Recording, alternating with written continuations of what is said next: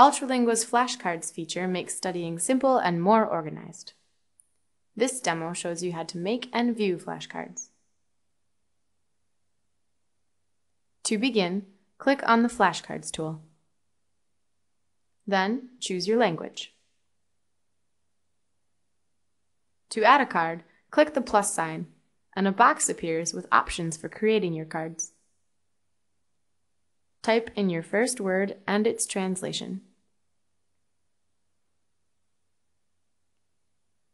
You can even group cards together by typing in the same group name. Then hit Add and your card is saved. Or you can use autocomplete to quickly fill in the cards for you.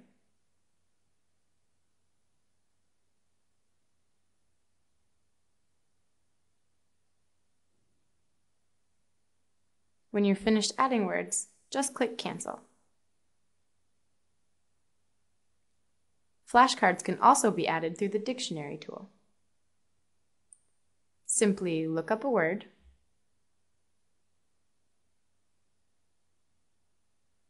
right-click on it, and choose Add to Flashcards. This makes it easy for you to translate and save words simultaneously.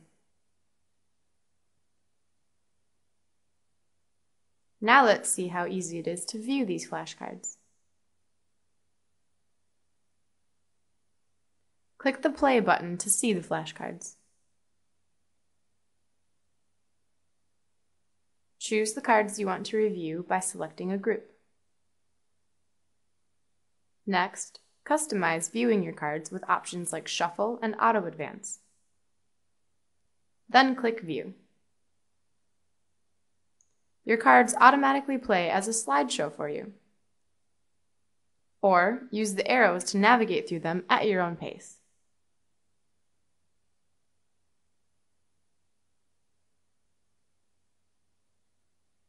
Thanks for watching. Go to www.ultralingua.com for a free trial and check us out.